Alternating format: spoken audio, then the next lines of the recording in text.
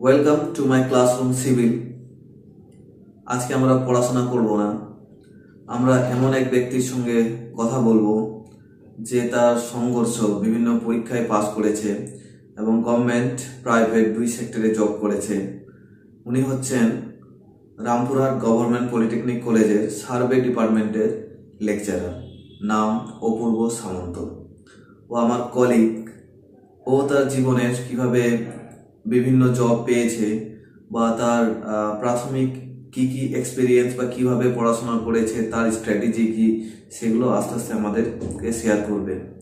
প্রথমে আমি প্রথমে আমি অপূর্বদাকে আমার ক্লাসরুম সিভিলকে সময় দেওয়ার জন্য অসংখ্য ধন্যবাদ এবং আমি প্রথমেই জানাব রিকোয়েস্ট করব যে তুমি তোমার সম্পর্কে আমার ছাত্রদের বা যারা ক্লাসরুম সিভিলটাকে ফলো করে, তাদেরকে কিছু বলার জন্য। সকলকে ক্লাসরুম সিভিলে ধন্যবাদ জানাই। এরপর ধন্যবাদ জানাই আমাদের মিনারুদ্দিন স্যারকে, যিনি এই আমাকে কথা বলার জন্য একটা সুযোগ করে দিয়েছে। এবার আমি আমার ব্যক্তিগত লাইফের কথা বলি। আমি ডিপ্লোমা কমপ্লিট করি গভর্নমেন্ট পলিটেকনিক কলেজ থেকে একটা। কলেজ কমপ্লিট করার পর এক বছর জব করি। জব করার পর আমি বিটেকে দু হাজার বিটেকে ভর্তি হই। তিন বছর বিটেক কমপ্লিট করার পর প্রাইভেট কোম্পানিতে একটা চাকরি করার সুযোগ পাই। প্রাইভেট কোম্পানিতে চাকরি করতে করতে ওর সাথে সাথে প্যারালালি আমি পড়াশোনা শুরু করি কম্পিটিটিভ এক্সামের জন্য। তারপর আমি পাই এনএইচপিসির undertaking Chenab valley power project private limited যেটা পিএসইউ পাবলিক সেক্টর আন্ডারটেকিং এখানে আমি অ্যাজ এ সার্ভে হিসাবে জয়েন হই। তারপর আমার লেকচারারশিপে ইন্টারভিউ আসে এবং লেকচারারশিপে ইন্টারভিউ দিই। দিয়ে আমি এখানে সিলেকশন হই তাহলে তোমরা শুনলে অপূর্বদা প্রাথমিকভাবে ডিপ্লোমা করেছে কোনো গভর্নমেন্ট গভর্নমেন্ট পলিটেকনিক কলেজ থেকে। তারপরে ও বিটেক করেছে প্রাইভেট কলেজ থেকে এবং প্রাইভেট সেক্টরে এনপিসিএল এ জব করেছে সার্ভেয়ার হিসেবে। তারপরে সি লেকচারার কোয়ালিফাই করে বর্তমানে রামপুরহাট গভর্নমেন্ট পলিটেকনিক কলেজের লেকচারার অপূর্বদাকে আমি জিজ্ঞেস করব বা অপূর্বদাকে আমি বলব যে, আমার ছাত্রদেরকে তুমি তুমি কীভাবে পড়াশোনা করেছিলে বা তোমার কীভাবে স্ট্র্যাটেজি তুমি তো জব করছিলে, তাহলে জব করতে করতে কীভাবে তুমি পড়েছো, কি কি বই ফলো করেছ বা তোমার স্ট্র্যাটেজি কি ছিল? আমার ছাত্রদেরকে একটু বলো। চাকরি করতে করতে প্রথমে আমি বলব যে, চাকরি করার সাথে সাথে গভর্নমেন্ট সার্ভিস প্রিপারেশনের জন্য প্রিপারেড হওয়া একটু চাপের ব্যাপার হয় সকলের ক্ষেত্রেই। আমি তবু বলব যে যারা চাকরি করতে ইচ্ছুক, তারা চাকরি অবশ্যই করো। করার সাথে সাথে চাকরি করার পরবর্তী যে টাইমটা ফ্রি পাচ্ছ, ওই টাইমে নিজেকে শুধু বইয়ের সঙ্গেই যুক্ত করে রাখো। এর বাইরে যেন আর না যাওয়া হয়। কারণ ওই টাইমটা খুবই অল্প টাইম।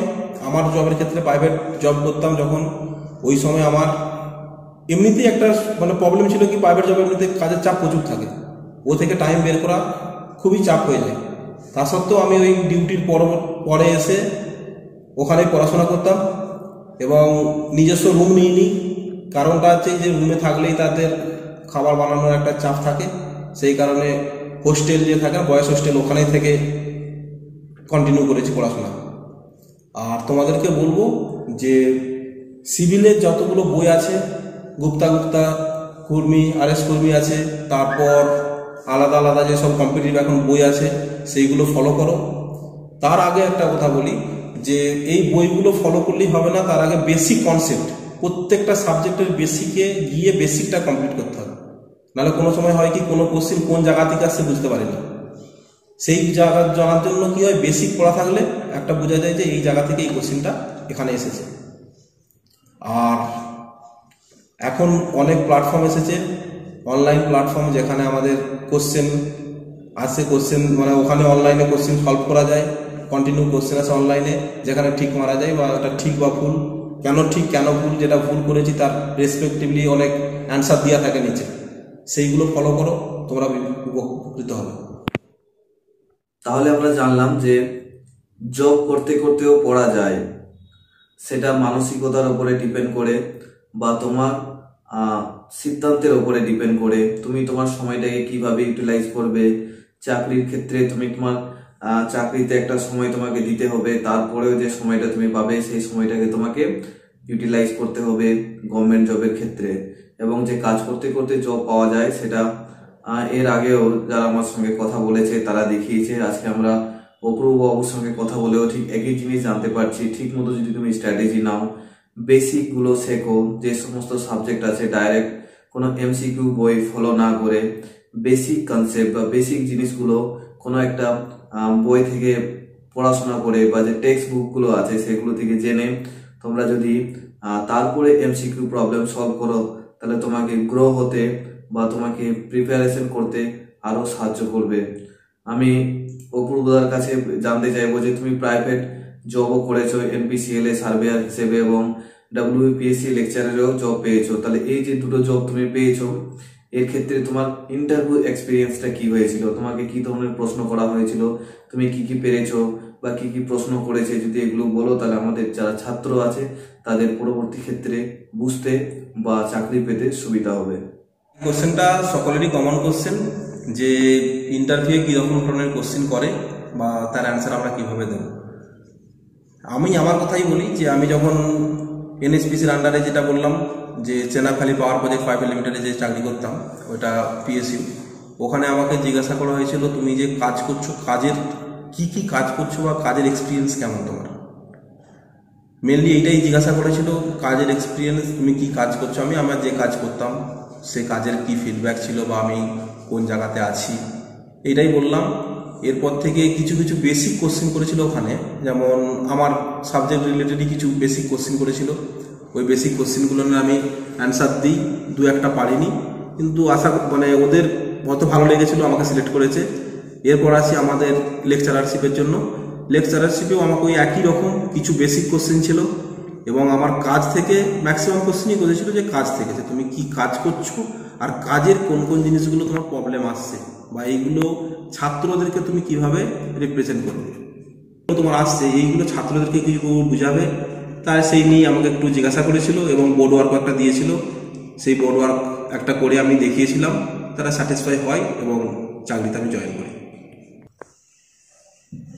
যেমন দু একটা কোশ্চেন আমি বলি, যেমন আমাকে ধরেছিল যে চেন থেকে কিছু অবস্টাকেল ইন চেনিং যে চেনের কি কি অবস্টাকেল আসে আর ধরেছিল টাভারসিং আমরা যে করি টাভারসিংয়ের কি কি এরর আসতে পারে? বা আমরা যে সাইডে কাজ করি সাইডে যখন কাজ করি সাইডে প্রথমে টাভারসিং করি কেন? বা সেই টাভারসিংটাকে আমরা করার পরে যদি এরর আসে এরর আমরা কীভাবে ডিস্ট্রিবিউট করব? এই কিছু কোশ্চেন ছিল, তারপরে ছিল কন্টুর কন্টুর বলতে যেমন রিভারের কন্টুর কেমন হবে? বা একটা হিলি এরিয়ার কন্টুর কেমন হবে? সেটা এঁকে দেখাতে বলেছিল। তারপর আন্ডারগ্রাউন্ড সার্ভে থেকে আমাকে দু একটা কোশ্চেন করেছিল যে আন্ডারগ্রাউন্ড সার্ভে কীভাবে প্রিপেয়ার করা হয়। যেহেতু আমি আন্ডারগ্রাউন্ড সার্ভেতে ওখানে কাজ করেছি কিছুদিন হাইড্রো প্রজেক্ট ছিল ওখানে, সেই হিসাবে আমাকে আন্ডারগ্রাউন্ড থেকেই কোশ্চেন করেছিল যে আন্ডারগ্রাউন্ড সার্ভেতে অ্যালাইনমেন্ট কীভাবে আমরা ফিক্স করি। যে কারণ আন্ডারগ্রাউন্ড সার্ভে তো সার্ফেস সার্ভের মতন আমরা কিছু দেখতে পাই না বাইর থেকে। সেই হিসাবে আন্ডারগ্রাউন্ড আমরা কীভাবে ওইটাকে থ্রু আউট করি, একটা টানেল থ্রু আউট করছি, পাঁচ কিলোমিটার বা দশ কিলোমিটার। এক প্রান্ত থেকে এক অন্য প্রান্ত। ওই টানেলটা কীভাবে থ্রু আউট করি? সেখান থেকেও অনেক কোশ্চেন এসেছিল। ওই কোশ্চেনগুলোর অ্যান্সার আমি দিয়েছিলাম, খুব ভালোভাবেই দিয়েছিলাম।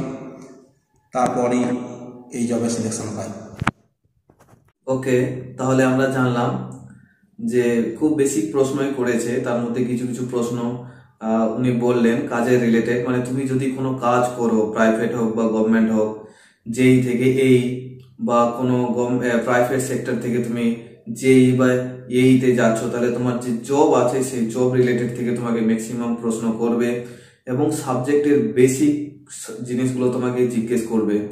এর বাইরে তোমাকে খুব বেশি জিজ্ঞেস করে না। আমি আমার এক্সপিরিয়েন্স থেকেও দেখেছি, খুব কিন্তু কঠিন জিজ্ঞেস করে না। তোমার এরিয়া থেকে মাস্টার ডিগ্রি থাকলে তোমার কি বিষয়ে মাস্টার ডিগ্রি ছিল, সেখান থেকে তোমাকে কিছু কিছু প্রশ্ন করতে পারে। এরপরে আমরা আরেকটা জিনিস যেটা অনেকজনের মাথায় থাকে যে গভর্নমেন্ট জব বা গ্রুপে গেজেটেড জব পেতে গেলে পেতে গেলে অ্যাটলিস্ট ভালো কলেজ দরকার হয় বা অনেকজনের ক্ষেত্রে এরকমও হয় যে বয়স হয়ে যায় চাকরি করতে করতে, নিজেকে হারিয়ে ফেলে, হীনমন্যতায় ভোগে। যে আমি আর প্রিপারেশন নিলে, আমি আর প্রিপারেশন নিলে আমার জব হবে কিনা বা আমি জব লাগাতে পারব না, তাহলে সেই সমস্ত ব্যক্তিদের ক্ষেত্রে তা তোমার কি বক্তব্য? তুমি কি বলতে চাও তাদেরকে? হ্যাঁ এই যে কোশ্চেনটা করেছেন, এই কোশ্চেনটা খুবই মানে সকলের মনে খুবই মানে গুরুত্বপূর্ণ কোশ্চেন এবং সকলের মনেই থাকে। আমরাও যখন মানে পড়তাম, তখনও আমাদের মানে এই কোশ্চেনই ছিল যে, একটা প্রাইভেট কলেজ থেকে পড়ে কি করে এই জায়গায় পৌঁছানো যায় বা কলেজ ফ্যাক্টর কি আছে? আমি বলব যে কলেজের কোনো ফ্যাক্টরই নেই। তোমার যে তুমি ডিগ্রিটা রেগুলার ডিগ্রি নিয়ে পাস করেছ, এটাই অনেক। এরপর তোমার মধ্যে কি রয়েছে? ইন্টারভিউ সেইটাই জানে। আর যখন তুমি পরীক্ষা কোয়ালিফাই করছ, সেই কোয়ালিফাইতেই তোমাদেরকে বলা আছে মানে ওখান থেকেই পেয়ে যায় যে ছেলেটার মধ্যে কী আছে। ছেলেটার মধ্যে ওই কিছু না থাকলে সে কোয়ালিফাইডই করতে পারতো না। সেই কারণে বলব যে আমি আমার কথা বলে আমি ডিপ্লোমা করেছি গভর্নমেন্ট কলেজ থেকে এবং প্রাইভেট কলেজ থেকে বিটেক করেছি। তাতে আমি এই জায়গায় পৌঁছাতে পারলে তোমাদেরকেও বলব যে কলেজটা কোনো ফ্যাক্টর নয় এবং এজ এজের যে একটা ব্যাপার আছে এজ আমাদেরই অনেক কলিগ আছে যারা লাস্ট এজে এসে চাকরি পেয়েছে। আমরা যেমন ফার্স্ট আমারও পাঁচ ছ বছর হয়ে গেল পাঁচ ছ বছর পরে আমি চাকরি পেলাম। কিন্তু আমাদের অনেক কলেজ আছে, পনেরো বছর, কুড়ি বছর পরে চাকরি পেয়েছে। তবে তোমরা ট্রাই করে যাও, অবশ্যই সাকসেস পাবে একদিন একদিন। তাহলে আমরা জানলাম যে তোমার মধ্যে কি আছে? তোমার মধ্যে কতটা নলেজ আছে? তুমি কতটা গেইন করেছ? কোথা থেকে করেছ? ডাজন্ট ডিপেন্ড ডিপেন্ড করে না কত সালে তুমি গেম করেছ ডিপেন্ড করে না। তোমার এটাই ডিপেন্ড করে তোমার মধ্যে ঠিকঠাক নলেজ আছে কিনা বা ঠিকঠাক তুমি জেনে এসেছ কিনা। এবং সর্বোপরি আমি অপূর্বদাকে বলব তুমি আমার ছাত্রদেরকে তোমার শেষ বার্তা কি কি দেবে বা তুমি কি বলতে চাও যাতে তারা নিজেকে প্রস্তুত করতে সুবিধা হয়। তোমাদেরকে বলব যে পড়াশোনাটা কন্টিনিউ করো। থিওরির সাথে সাথে থিওরি বলতে যে পেপারগুলো তোমরা পড়ছো মানে ডিসক্রাইব টাইপ যে কোশ্চেনগুলো আছে বা তোমরা পড়ে এসেছ, বইগুলো ফলো করো, তার সাথে সাথে এমসিকিউ ফলো করো। বইগুলো পড়তে পড়তে তোমাদের ম্যাক্সিমাম এমসিকিউ বইয়ের মধ্যেই লুকিয়ে থাকে।